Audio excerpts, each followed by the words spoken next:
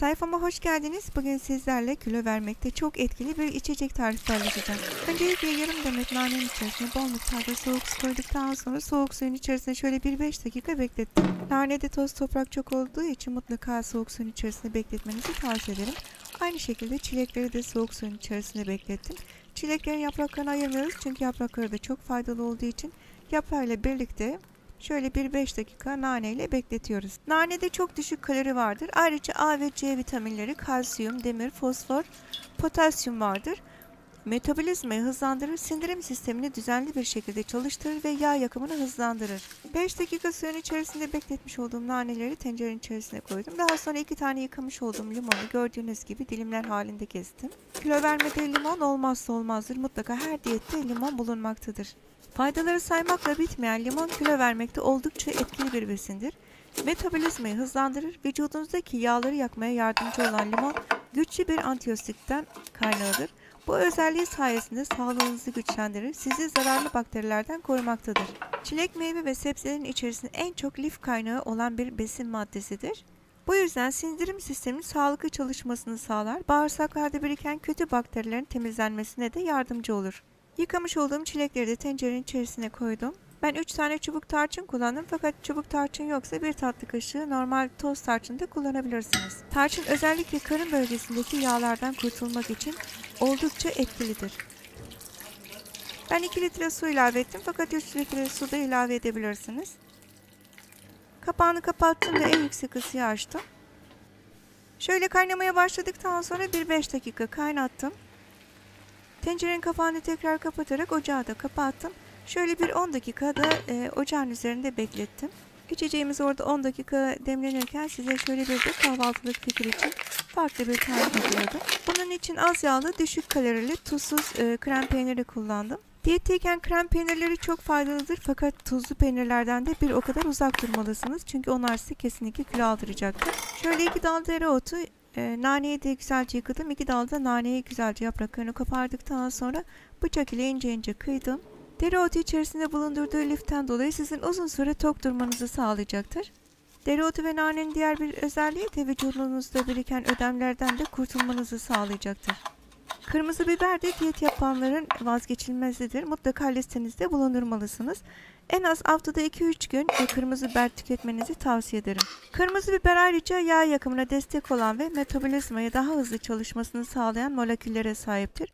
Bu besini de yer alan kapsaisin maddesi yağ yakımını kolaylaştırır.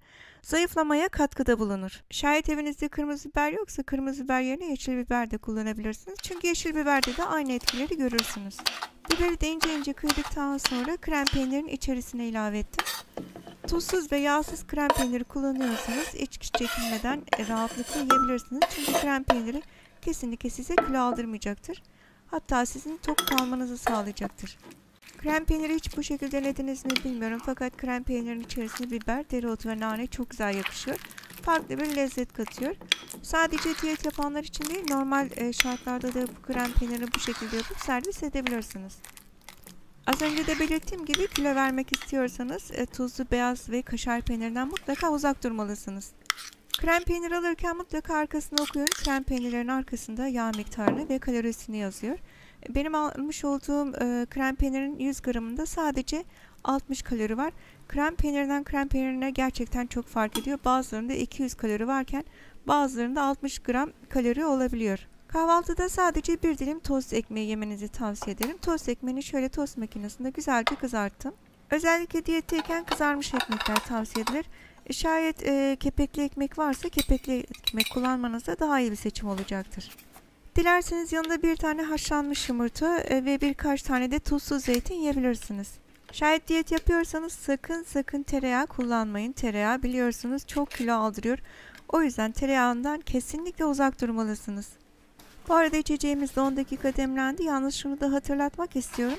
Şayet tansiyon ile ilgili bir probleminiz varsa mutlaka doktorunuza danışıp o şekilde içmelisiniz. Hamile ve bebek emziren hanımlar da asla kesinlikle bu içecekten içmemelidirler. Bu içeceği nasıl tüketeceğinize gelince sabahleyin e, kahvaltıdan bir saat önce aç karnınıza bir su bardağı ılık olarak içmelisiniz. Akşamda yatmadan bir saat önce bir su bardağı içebilirsiniz. Bu içeceği sadece zayıflamak için değil, serinlemek için de içebilirsiniz. Şayet zayıflamak için kullanacaksanız mutlaka ılık olarak içmelisiniz. Serinlemek için içmek istiyorsanız bir şişenin içerisine doldurun, buzdolabına koyun e, veyahut da içerisine buz parçacıkları atıp o şekilde de içebilirsiniz. Serin serin çok lezzetli oluyor.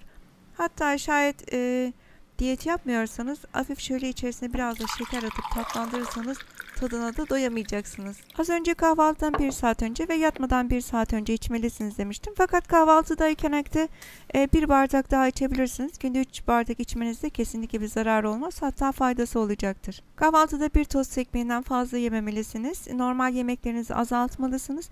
Yoksa tek başına hiçbir içecek, hiçbir ilaç sizi zayıflatmaz. Bu içecek özellikle göbek ve basen bölgesindeki yağlarınızdan daha çabuk kurtulmanızı sağlayacak ve tekrar kilo almanızı engelleyecektir. Kilo vermek isteyenler mutlaka bu içeceği en az düzenli olarak 2 hafta içmelidirler. Yeni tariflerde görüşmek üzere, hoşçakalın, hep mutlu kalın.